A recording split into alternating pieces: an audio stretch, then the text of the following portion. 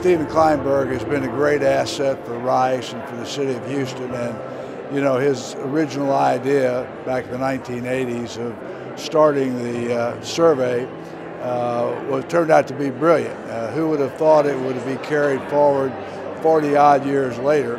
Uh, he started it all out, and uh, I call him the rock star because uh, if you go around the Rice campus or go to an event like this, he's clearly uh, a celebrity and he does a great job. You know, it was never my intention to, to study Houston. It was a one time survey that fell to my lot because of, of Rice University and these wonderful students waiting to, to be taught something about research methodologies. A friend of mine at that moment had just started a new survey organization, so we said our original thought was to study freshmen and seniors at Rice and sort of look at, at the changes over time.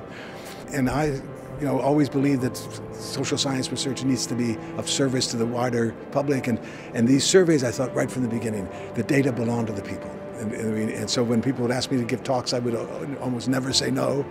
And it just sort of ballooned from there. And, and it's been a wonderful 40 years in a, in a wonderfully interesting city and a nice, a nice sort of confirmation of the value of objective social science. This day is extremely special for Steve and the whole Kinder Institute. This is the first time in several years after the pandemic that we've had a chance to reunite, get together with all the wonderful people that support the Institute and that want to learn from the work that we're doing. So it's special in that way, but it's also very special because it's Steve's last one. 40 plus years of doing this amazing work, and he has really set the stage for the Institute going forward. Steve has got a heart of gold, he's got a big personality.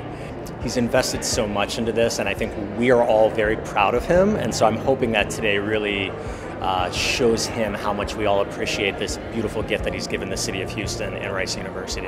It's indeed a great joy to be here in person for this celebration. Well over a thousand people. This is a group of people who have in common a passion for our city and a belief that we can do better and make it a greater place as we contribute to our city, our nation, and our world. Dr. Klineberg has shaped Houston's future through his pioneering work with the Kinder Houston Area Survey, and it's something that um, we have always looked forward to every every single year. His work has truly been uh, influential, but more than that, uh, your work has been transformational. I'm just deeply grateful to, the city and to all the people who've supported the, the, research and recognized the value of having this kind of research early on. And uh, you know, this has been my life, and it's, it's not over yet. There are new, new things on the horizon, but it's it's. Uh, I mean, the dominant feeling I have is one of, of deep gratitude for, to, for Rice and for people in the city and for the support across the board that we've received over these years.